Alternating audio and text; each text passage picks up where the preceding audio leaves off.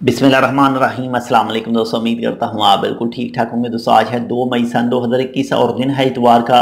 مان supreme committee کی طرف سے کچھ فیصلے آئے ہیں. جو لاک ڈاؤن ہے، اس کو مزید ایکسٹینڈ کیا گیا ہے اور جو کمرشل ایکٹیوٹیز ہیں، ان کو بھی مکمل طور پر کلوز کرنے کے بارے میں فیصلہ آیا ہے۔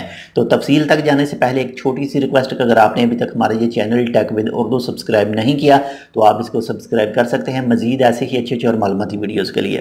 تو جو نیو فیصلہ آیا ہے سپریم کمیٹی کی طرف سے وہ لاگو ہوگا آٹھ مئی سے لے کر اور پندرہ مئی تک شام سات بجے سے لے کر صبح چار بجے تک جو لاک ڈاؤن ہوگا نو مومنٹ بین کا کسی بھی آدمی کو باہر جانے کی اجازت نہیں ہوگی اور نہ ہی کسی گاڑی وغیرہ کو جانے کی اجازت ہوگی۔ یہ دفار کے علاوہ ہے۔ دفار کے علاوہ باقی علاقوں میں۔ دفار کا جو پہلے چل رہا ہے وہ سیم ایسے ہی چلے گا۔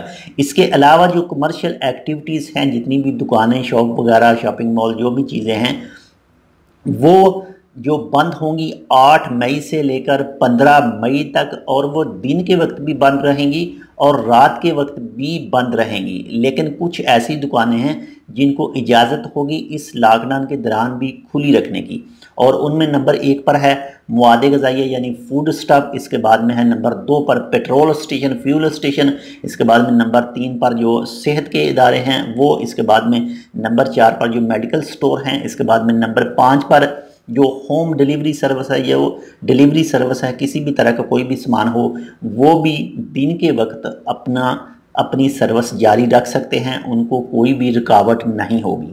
اس کے علاوہ جو اتوار نو مئی سے لے کر اور منگل گیارہ مئی تک جتنے بھی سرکاری ادارے ہیں، سرکاری افیسر ہیں، ان کو بھی اپنے گھر سے کام کرنے کی اجازت ہوگی۔ ریموٹلی طور پر ہی ان کو بھی کام کرنا ہوگا اسپیشلی اتوار نو مئی سے لے کر اور منگل گیارہ مئی تک۔ اور اس کے بعد میں جو پرائیویٹ ادارے ہیں، ان کے جو بھی امپلائی ہیں، ان کو بھی کہا گیا ہے کہ بہتر ہے کہ آپ گھر سے ہی ریموٹلی کام کریں، کوئی الٹرنیٹو ان کو طریقہ دیں جس سے وہ اپنے گھر میں ہی بیٹھ کر کام کام کر سکیں ریموٹلی طور پر، تاکہ اس موجودہ بیماری کو کور کیا جا سکے، اس کو کنٹرول کیا جا سکے۔